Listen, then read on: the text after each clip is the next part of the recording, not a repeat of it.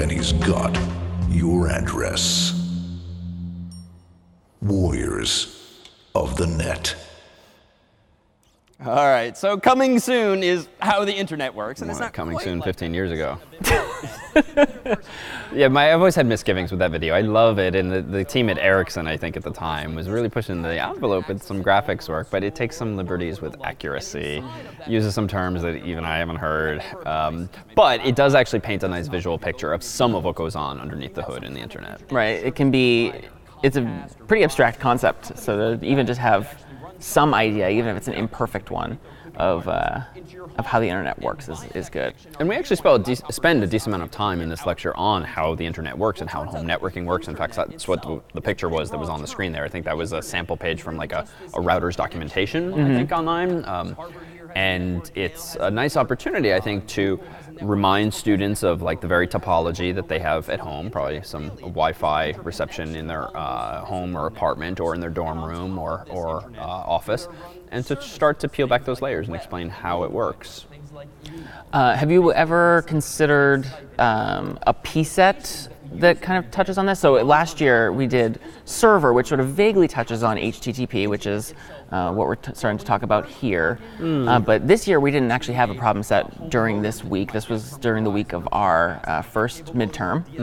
Um, We move things around. I mean, for me, I like the societal relevance here. Um, I think this ties in very well to our new CS50 AP initiative, where it shows the intersection of technology and society.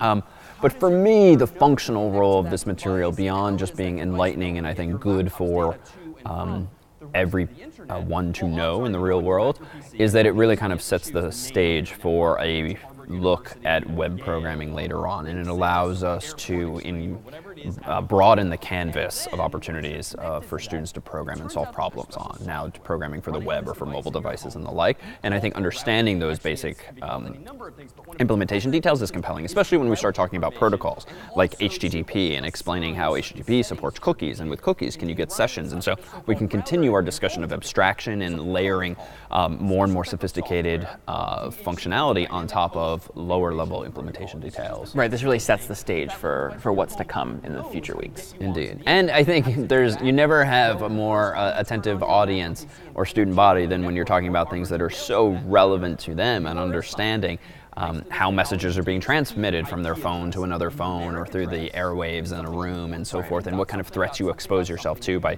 using uh, insecure Wi-Fi or by using a, a weak password. In fact, we'll continue this discussion of security later on when we look at SQL and databases and how you can accidentally render yourself vulnerable.